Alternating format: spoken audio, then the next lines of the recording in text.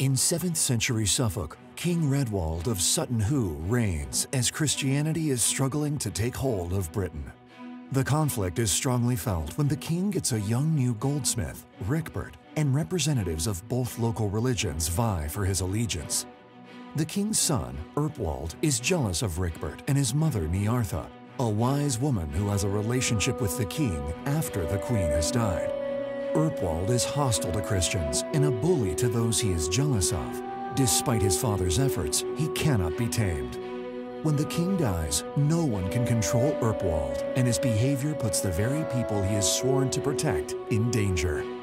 As a religious conflict becomes personal, fighting ensues and true colors are shown among tragedies and triumphs in this sequel to Stormfrost that can also stand alone as an ancient adventure. Available online at www.authorhouse.co.uk.